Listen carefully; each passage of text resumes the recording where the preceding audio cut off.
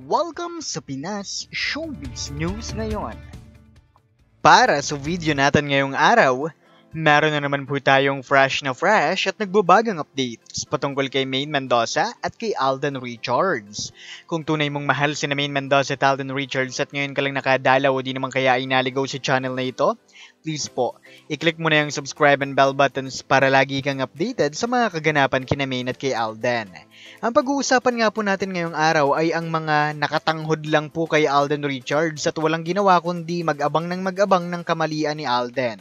Kung saan, yung interview nga po ni Alden sa 24 oras na pinalabas po kagabi, no, ng, uh, eh, talaga hong dinumog ng mga bashers. Itong, uh, itong mga bashers na ito ay pinalalabas po na si Alden Richards daw po ay nakikitara lang sa kanyang rich friend sa mga araw na ito.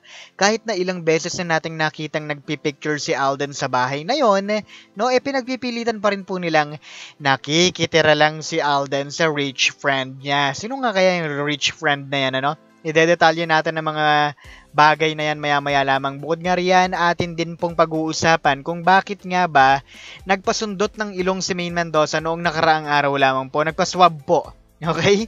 Kaya naman uh, kasama na rin po no sa ating mga pag-uusapan ng mga latest po na ratings na nakuha po ng proyekto ni Maine Mendoza at Alden Richards.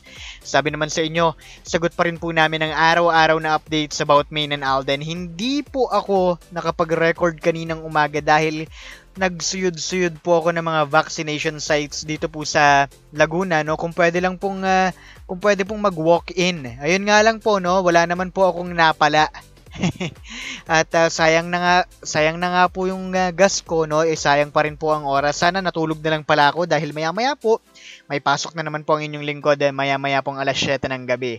At uh, bago nga tayo magpatuloy, pahayaan nyo pong magpasalamat ako sa mga subscribers natin na patuloy po ang pag-support at pagmamahal na ibinibigay po kay Min at kay Alden nang wala pong ibang hinihintay na kapalit. Lagi po ninyo tatandaan na kaisa nyo po ang buong Pinas Showbiz News ngayon sa pagsupport at pagmamahal kina Main at kay Alden at kung nood ka nga nang nood ng mga video updates natin.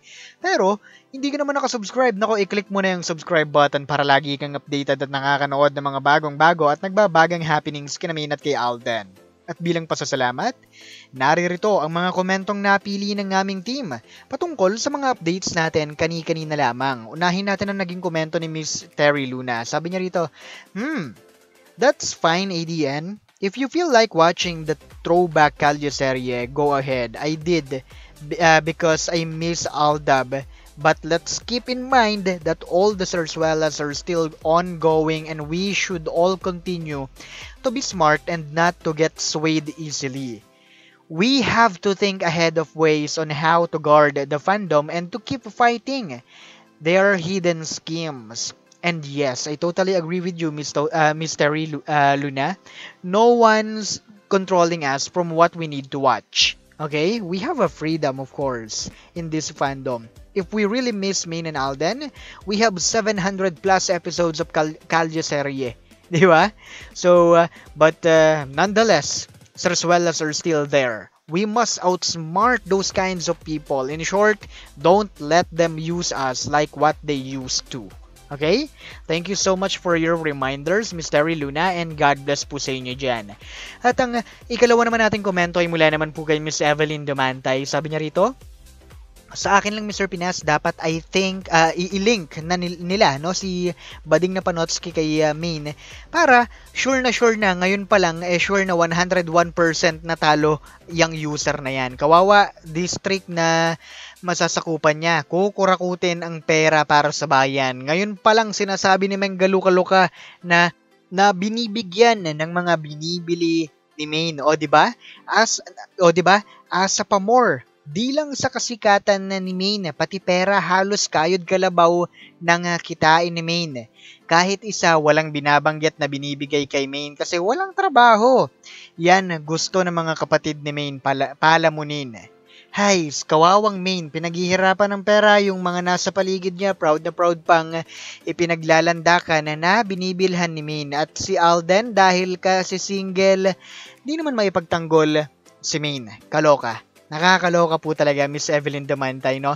Sabi nga po ng ibang mga netizens, gamit niya o gamitin man niya no o hindi si Main eh kitang-kita ang, ang, ang kanyang motibo from the start pa lang. Hindi mo nanalo yan. Wala na kasing uh, kinikita sa mga peli- pelikula niya no. Kung halimbawa ay, ay showing ngayon, eh, ngayon na rin ang last day. Ganun yun eh. 'Di ba? Kaya ibang paraan ang pinapasok para lang uh, may mapagkakitaan ano. Parang uh, parang ano lang po 'yan ano, parang linta lang na dikit ng dikit kay Main. Thank you po sa comments ninyo at ang ikatlo naman nating komento ay mula naman po kay Miss Doris Latupan. Ang sabi niya rito, Totoo yan, Mr. Pinas. We're not born yesterday. Di naman tayo tanga, obvious naman na mauulit na naman ang nangyari last year kaya wag tayong masyadong happy at pautos sa kanila. Style nila, bulok. Alam na alam nila ang weakness natin. Siyempre, pag nakuha na nila ang gusto nila, uulit na uulit na naman ang ginawa nila sa atin. Mahirap talagang magtiwala but I can't deny my feelings. Masaya rin ako uh, kanina habang pinanonood ang uh, Kalye Seryo sa Itbulaga. Grabe, kahit uh, kapapanood ko lang sa YouTube, ginikilig pa rin ako. Aldab lang sa kalam. May uh, mas nakaka-good vibes pa. Para, palang uh, balita, napaka-sweet naman ng mag-asawa. May exchange tweets pala sila, ha? Mukhang di na nila maitago ang nararamdaman nila sa isa't isa. Uh, sa kasi iisa lang ang account na ginagamit nila Parehong uh, sign na ba yan na nalalapit na talaga ang tamang panahon? Ano sa palagi mo, Mr. Pinas? Ganyan na ganyan talaga ang style nila. Miss uh, Doris Lutupan. Isang format, 'di ba? Pati yung interview po kay Maine Mendoza kay sa, sa Celeb, uh, Celeste Tubiera, 'di ba? Ganyan na ganyan 'yon. Kukunin ng mga viewers sa mga Alda fans para pagkakitaan tapos pag marami na silang mga commercials at kumita na sila, ayan na, ibabagsak na ulit sa Kumunoy. Tulad po ng uh, paparating na episode ng interview ni Maine. Abangan nyo, uh, wag, wag, wag nyo parang abangan, wag nyo nang panoorin. No? Pero kami po ang magsisilbing mga mata ninyo, okay? At sa tanong po ninyo, sa dami po ng plano ng mga managements ni Maine at saka ni Alden, I doubt po. No? Pero sana malapit na talagang mangyari, o mangyari na sana talaga no, ang tamang panahon na yan. Salamat po sa comments ninyo. At ito na nga, pinagdudahan na naman tayo ng mga dudangers dyan. Na imposible raw yung sinasabi namin na si MJ Lastimosa ay babalik sa Itbulaga kasi raw po ECQ or Enhanced Community Quarantine. At kung uh, ano-ano pang mga dinadahilan nila para lang mabasag ang impormasyon na nakuha natin na wala si Alden at Main sa Itbulaga dahil babalik nga ngayong linggo si MJ Lastimosa. So, nakita nyo naman po sa Itbulaga, di ba? Si MJ Lastimosa po yun. Hindi po kayo nagahalisun, uh, nagahalucinate Okay? Hindi po kayo namamalik mata. Siya po talaga yon kasama pa nga si Kakay. 'di ba? Gulat nagulat po yung iba pero kahapon pa natin 'yan sinabi. Ang uh, dami kasing uh, nagpupumilit na present ngayon si Main dahil uh, dahil po live nga raw sila at dahil nagpasundot po ng uh, ilong si Main or nagpaswab na. Or ito lang ho yun ano, yung uh, swab po na ginawa ni Main ay yung home service. Hindi po yun para doon. Okay? Si Min po kasi ay lalabas po ng border ng Bulacan. Kailangan niyang pumunta ng Maynila dahil nandito po yung kanyang trabaho. Kailangan niya pong magtrabaho dahil kahit po ECQ, marami pong commitments si Main, si Main Mendoza. Isa po siya sa mga essential workers na kailangan pong tumagos ng Maynila. And uh, para po makalusot ng mga checkpoints, para lang na rin po bilang pag-iingat, siya po ay nagpaswab na rin po. Gets niyo po ba? At sa latest ratings po ng Pop Pinoy, kitang-kita na naman po na sa 20 TV shows and programs every Sunday, nairang po ang Pop Pinoy as number 20. Hay, nakakalungkot man pero nasa na, nasa na yung mga mayayabang na mainers? Akala ko ba hindi na kailangan ng mga Aldab fans? Itaas nyo naman sa number 1 or number 2 man lang yung Pop Pinoy every Sunday. My goodness. No? Akala ko ba hindi na kailangan ng mga Aldab fans? Sayang ang investments ng mga Toviera. ba? Diba? Ayaw pa kasing tanggapin na kung nais lang kumita ng gusto, kailangan nila si Main at Alden together. Okay? At para naman sa sentro ng ating mga updates, tulad din po ng sinabi namin sa inyo nung nakaraang araw, si Alden po ay uh, sinadya pong magpapayat para po sa teleserye nila. Okay, kailangan kasing makita ang iba-ibang looks ni Alden in different years na ginagawa sa teleserye nila. Pero ano na naman ang sabi ng mga bashers? Si Alden ay kulang sa tulog, si Alden ay parang may sakit at kung ano-ano pa para lang uh, ma, para lang pumabasag ulit ang mga impormasyon natin. So sa napanood po ninyong interview ni Alden, tama rin po yung mga napanood at na, na, napakinggan po ninyo.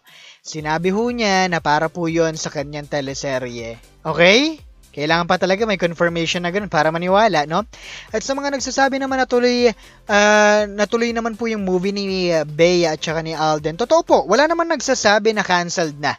Okay, pero hindi pa alam ang exact date kung kailan magsisimula and we never know kung kailan dahil po sa mga community quarantines na ini-impose ng ating gobyerno na hindi po malinaw at hindi po laging final kaagad. Okay?